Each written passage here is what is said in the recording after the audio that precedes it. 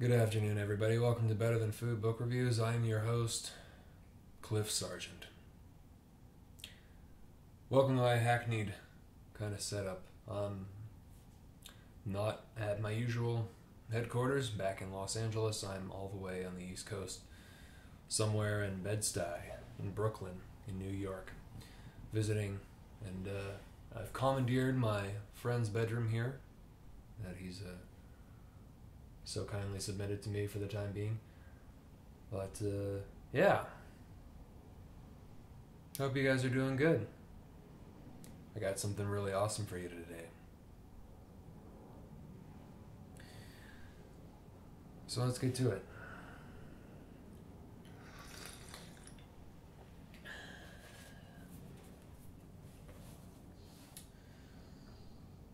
This is um, well, what's the actual? What's it? How do you say it? Ingest. In Stahlgewittern. In Stahlgewittern. In, in Stahlgewittern. Storm of Steel by Ernst Jünger. Uh, Ernst Jünger was a soldier and author. He was a soldier in World War One. German soldier in World War One, born in Heidelberg in 1895. And he lived until 1998. I mean, he was 102 years old. This guy had gone through the whole thing World War One, World War Two. He saw the whole century, right? There's not many people who can say that. Um, you know, he he joined the the war, the World War One, when he was very very young. Basically, you know, Storm of Steel. Stahlgewittern is um, a a novel, a first-hand account of being in the trenches in World War One. Um, by a 19-year-old, you know, he was extremely young. Uh, he ran away from school and I think he like tried to join like the Foreign Legion. He ran away from school, and I think he tried to join the Foreign Legion in Armenia or something. But then he volunteered uh, to be in the German army, and this is his diary. Basically, you know, the it's it's obviously been revised many many times, but you know, uh, the basis was his diary in the war. Um,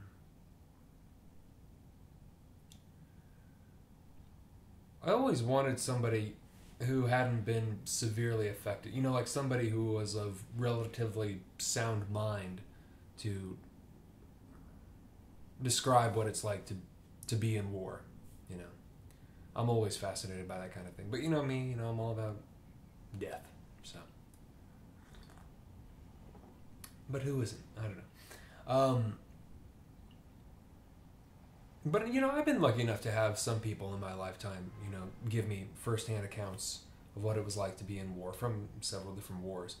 Um, my a colleague of mine, my friend at school, uh, had uh, fought in Afghanistan, and I think he was over there uh, around the time of that first big battle in Fallujah but uh, man, I'm not I'm not quite certain. But he, I remember he was at this compound in the middle of the desert, right? He, he had no problem telling me about stories. You know, he he even you know kind of prefaced it. He said like a lot of people uh, have have issues talking about it. With him, had no issue with it whatsoever.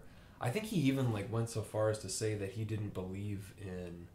Um, uh, what whatever the, the syndrome is, you know, the traumatic stressful syndrome uh, that escapes my thought for some reason right now. You know, post traumatic stress disorder or whatever, PTSD. That's right. He he basically vetoed the the notion of PTSD, which was interesting for a soldier, you know, who'd seen so much shit, obviously. But uh, he was at a compound in the middle of the desert in Afghanistan, right? And um, the day he arrives to this compound, uh, sitting out front is this burlap sack. And there's like a, a, a, boot sticking out of the top, and then there's like a guy's, you know, severed head on one part of the sack, and he says, "What the fuck is that?" They said, "Oh, you know, these guys They're like, oh, those those are the puzzle men." And they said, he says, "What the hell? What? Why do you call them the puzzle men?" I said, "Well, because we can't figure out which body part goes with which body." Basically, what it was was it was a couple of insurgents who had um, uh, driven a truck into the side of uh, this uh, this compound, and they they had killed some U.S. soldiers, and uh, but they they couldn't figure out whose was whose of these guys, so they basically like just rounded it up, put it in a sack, and stuck it out front. And I think that uh, he mentioned, and I'm pretty sure this is true. It's totally messed up, but I mean, I think the the U.S. soldiers were so pissed that they actually nailed the the skin of this guy's face to the side of a wall or something as like a as like a warning sign or something like because of the blast of the explosion this guy's face had actually literally been like you know ripped off of his but it was intact and so they like hung it up and nailed it to the side of this wall something crazy like that another another account that was that I always remember which I really liked which is you know completely different war, but also very interesting, was uh, from my dad. Actually, my dad, who was uh, drafted into Vietnam in uh, you know I don't know the exact year, but uh, you know he was. So he was born in 46. So he was like 19. He was like 18, 19 when he went to Vietnam. And he told me the, the grossest story, which I actually really, I think is pretty awesome. Um, he had a he had an abscess uh, under you know in his mouth under a tooth you know so it was like swollen and there's like pus and shit and he's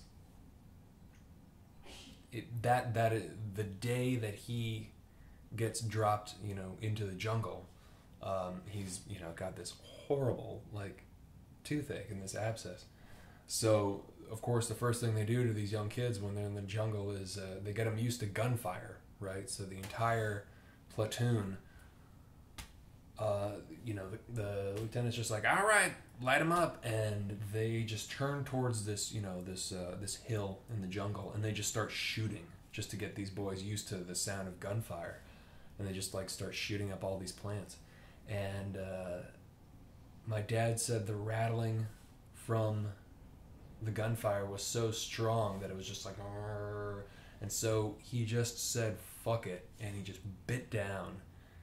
You know, he just like clenched his jaw as hard as he could. The whole thing broke. All the pus filled his mouth. He spit it out. And then it healed. And that was the beginning of the war for him.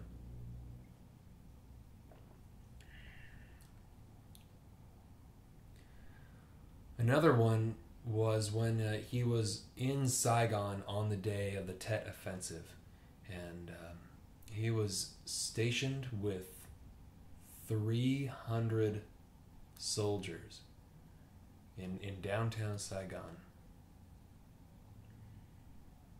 300 or something like that. Like on like the 15th story of this hotel, this skyscraper, right? And uh, they're completely unarmed. So the morning of the Tet offensive, they begin to realize something's something's up because you know there's a there's a curfew that's been installed, and uh, normally you know 6 a.m. hits and like or 5 a.m. or whatever, and the streets are like packed. Everybody's got to do their shit. They're getting groceries. They're doing you know they're going to work. They're whatever, you know. Uh, today, nobody's on the street. Nothing is happening. And then they start to hear gunfire and they see smoke in the distance. And then the little bicycle taxis come in and but they're carrying wounded. And so gradually they see this whole shit show just happening you know getting larger by the hour. And uh, they end up like i said at night on like the 15th floor of this hotel building with no guns uh, drinking at the bar watching the entire city of saigon catch on fire and you know he was dad said he was like it looked like godzilla was just walking through the whole thing and they said they opened the windows and they could hear. Uh, they said it sounded like the ocean because of all the gunfire. And I just thought that was incredible. So,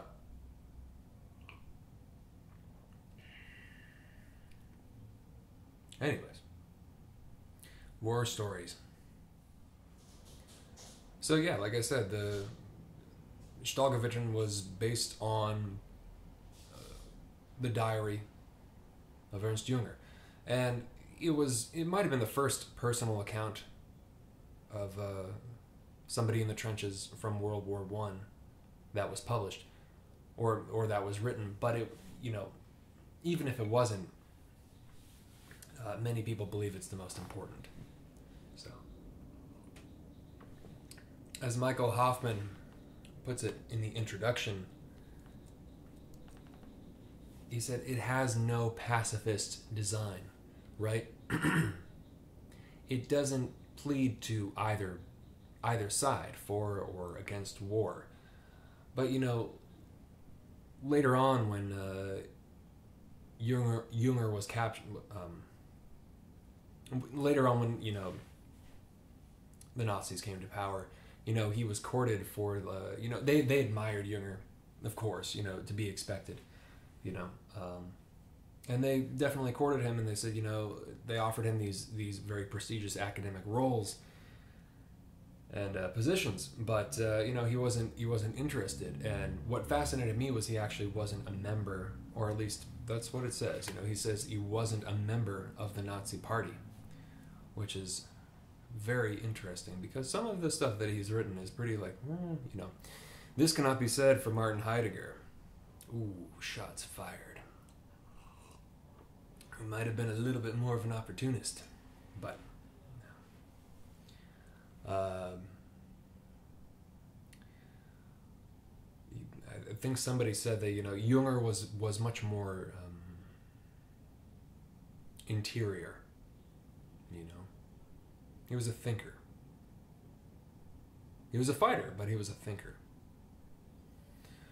So, you know, in in the writing itself, you know the physical is given priority over the ideological, right?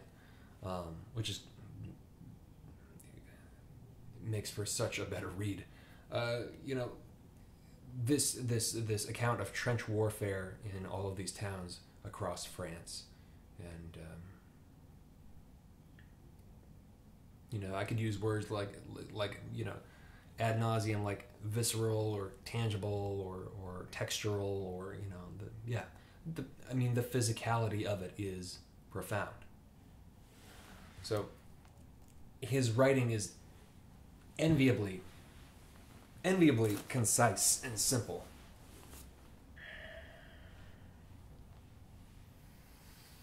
It's friendly, interestingly.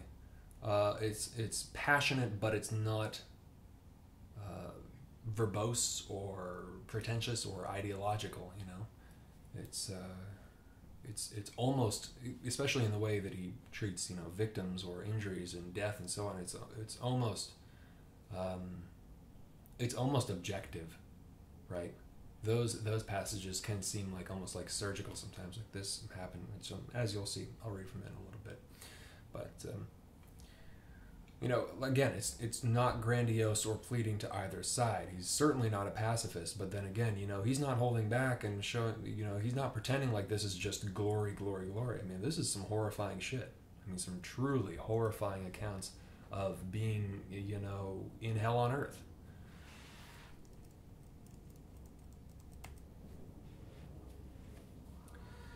It sometimes feels like this very perplexing, very complicated and perplexing dream because it's like shifting back and forth from nightmare.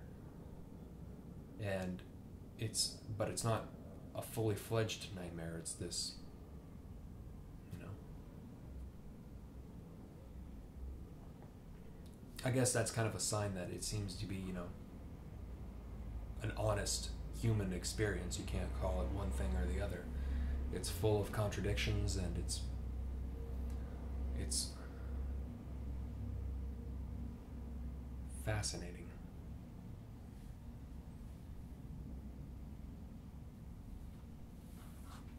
I'll give you this one. Let's start off. Huh? Let's start off, shall we? Why don't we start off with this passage at a midnight cemetery?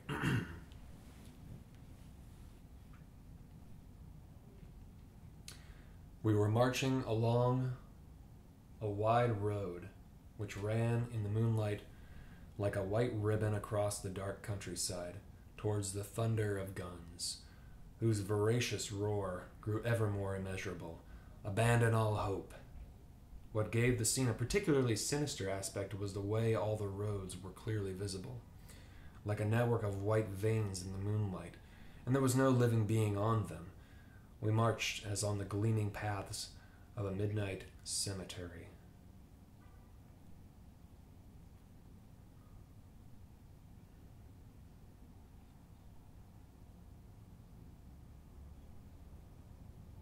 You know.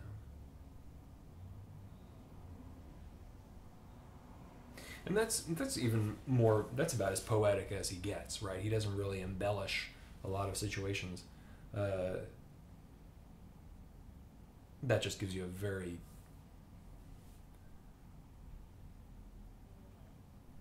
beautiful image of the moment right before everything goes to hell. So, you know, there's nothing glorious about trench life. But the camaraderie and the day to day activities start to become kind of funny, you know, because you're doing the best you can with the men around you, uh, given the available um, resources and the circumstances, you know. So at tea time, things can get quite cozy. He's got kind of like this aristocratic vibe to him. He's not a dandy, and you know, but you know, he was wearing suits and you know lived in a chateau when he was older and kind of had this this kind of you know learned man of sophistication air about him. But anyways, at tea time things can get quite cozy. The ensign is often required to provide company for one or other of the senior officers. Things are done with formality and some style. A couple of china cup, a, ch- a couple of china cups on a Hessian tablecloth. Afterwards, the officer's Batman will leave a bottle and glasses out on the wobbly table. Conversation becomes more personal. It's a curious thing that even here, other people remain the most popular subject of conversation. Trench gossip flourishes in these afternoon sessions, almost as in a small town garrison. Superiors, comrades, and inferiors may all be subjected to vigorous criticism, and a fresh rumor makes its way through all six commanders' dugouts along the line in no time at all, it seems.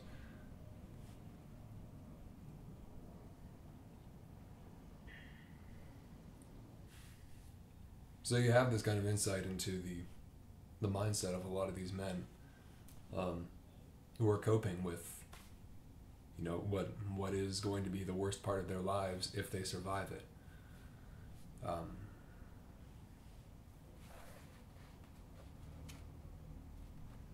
but of course, it doesn't take long before you actually get to the descriptions of violence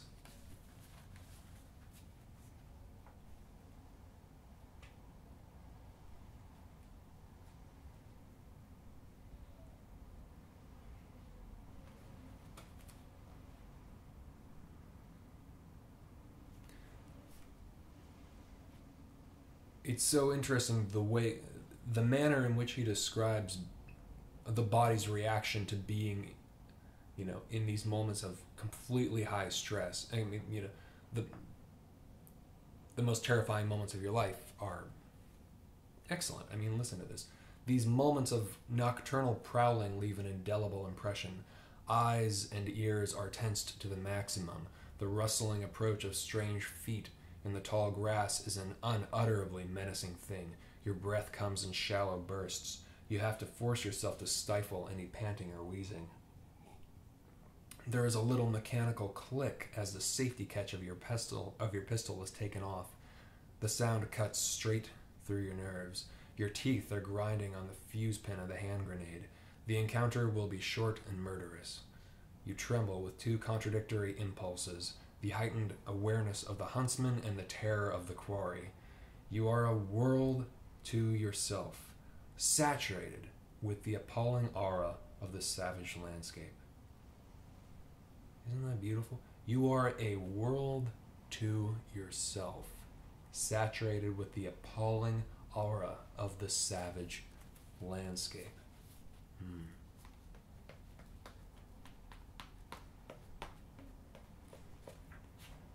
God.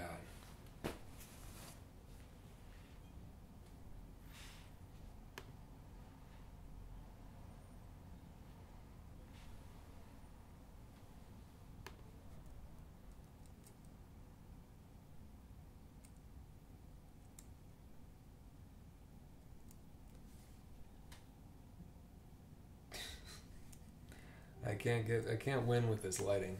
I really can't. I'm trying. Yeah, they're just gonna have to do if it gets dark. Fix it in post. Fix it in post if it gets dark.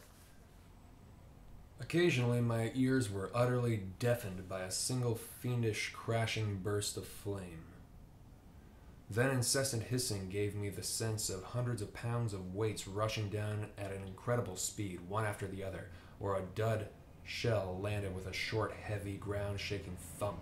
Shrapnels burst by the dozen like dainty crackers, shook loose their balls in a dense cloud, and the empty casings rasped after they were gone. Each time a shell landed anywhere close, the earth flew up and down, and metal shards drove themselves into it. It's an easier matter to describe these sounds than to endure them, of course, because one cannot but associate every single sound of flying steel with the idea of death. And so I huddled in my hole in the ground with my hand in front of my face, imagining all the possible variants of being hit. I think I have found a comparison that captures a situation in which I and all the other soldiers who took part in this war so often found ourselves. You must imagine that you are securely tied to a post, being menaced by a man swinging a heavy hammer. Now the hammer has been taken back over his head, ready to swing, and now it's cleaving the air towards you on the point of touching your skull. Then it struck the post, and the splinters are flying. That's what it's like to experience heavy shelling in an exposed position. Luckily, I still had a bit of that subliminal feeling of optimism it'll be all right. That you feel during a game, say, and which, while it may be quite unfounded, still has a soothing effect on you. And indeed, even the shelling came to an end, and I could go on my way once more, and this time with some urgency. It's always going to be all right, right? It'll be all right until it's not. We keep telling ourselves that, which is which is very interesting, you know, because even in the worst the worst case situations in this book, it's it's amazing um, how the human body just uh, has this kind of um, or the human mind, mind or body, whatever, has this uh, this inherited this internal form of like it just refuses to give up, right? It it's almost like not capable. There's like this intrinsic quality that just doesn't allow us to not say, "Oh well, it will be all right." You know, it's like, what was it, Samuel Beckett line? I can't go on. I must go on. I can't go on. I'll go on. Yeah, well, you have to. You know, that's kind of like how we're built, which is fascinating to me. And if that, you not one big testament to it, oh, I don't know. Oh, just myself. So.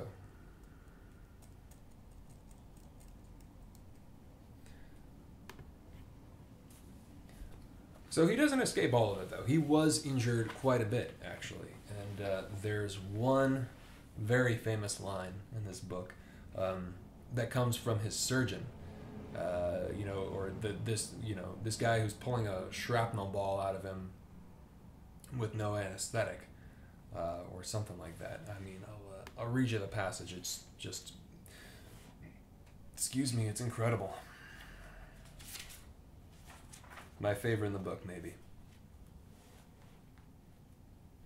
After my comrades had bandaged up the wound, they carried me across the street, needless to say, through fire, to the catacombs, and there laid me on the operating table.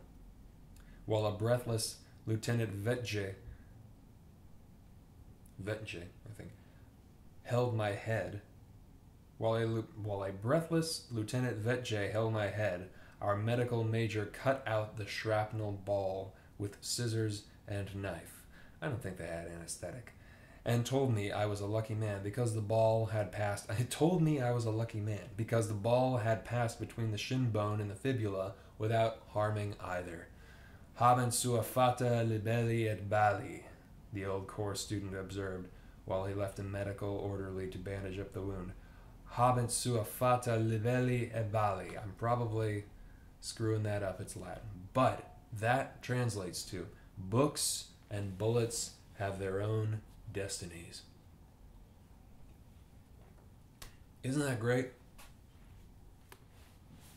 He gives a lot of magnificent accounts of what it's like to be under the duress of having to battle with the elements of just, you know, uh,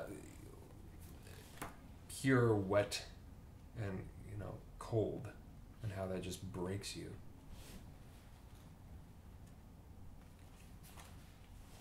Shivering and trembling without a dry stitch on our, bo- on our bodies. Shivering and trembling without a dry stitch on our bodies, we stood there knowing the next bombardment would find us utterly helpless on a muddy road. It was a wretched morning.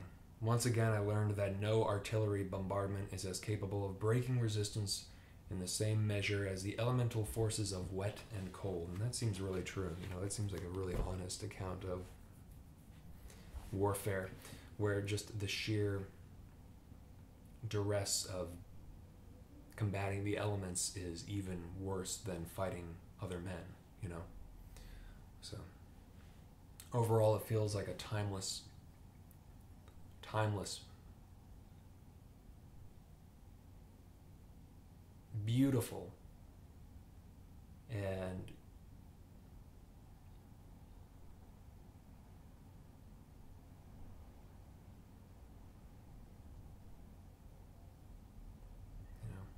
yeah, terrifying account of what it means to be trapped in the middle of that um, impossible goal. You know.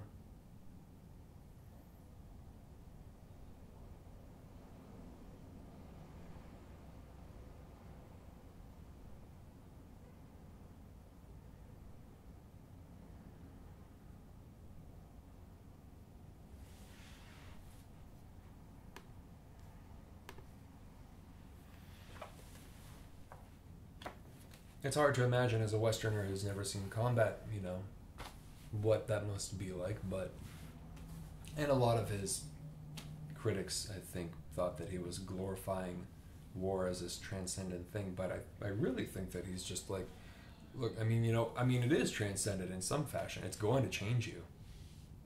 Maybe not for the better.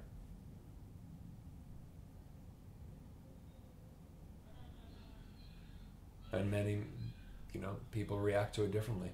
Everybody's circumstance is different. I guess it's not you know it's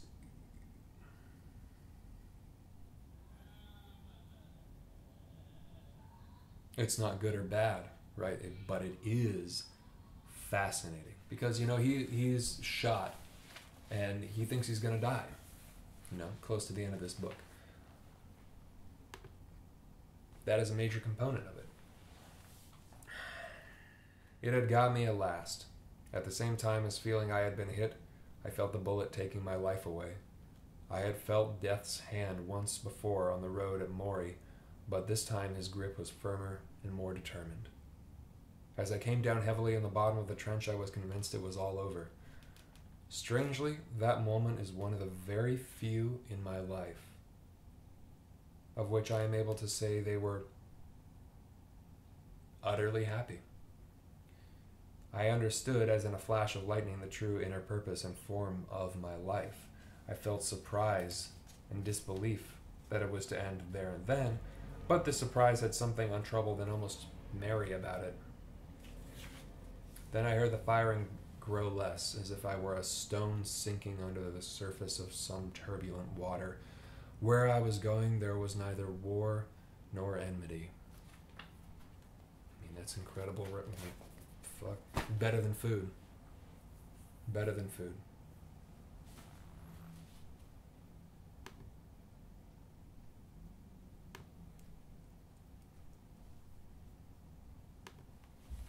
I think that's my favorite real life account of somebody who thinks he's who thinks he's gonna die, you know. And maybe that's just kind of like the optimist inside me. But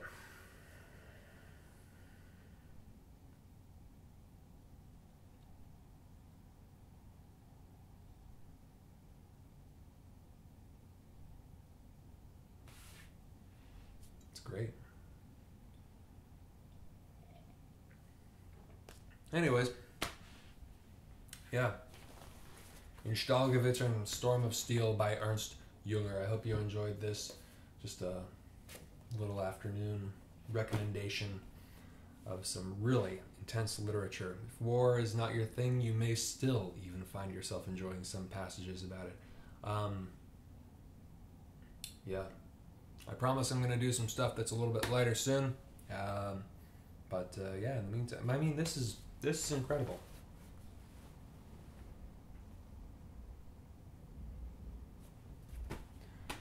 Well, I hope all of you guys are doing well. Um, please, if you can donate to Patreon, uh, I would sincerely appreciate it.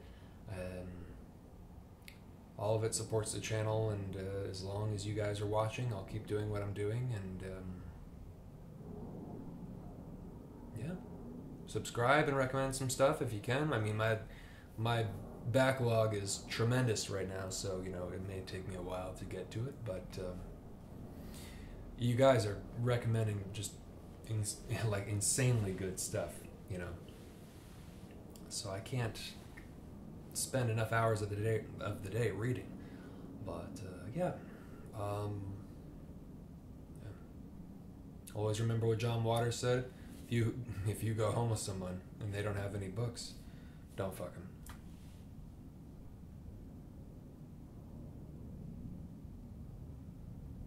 Have a great day, guys. Ciao.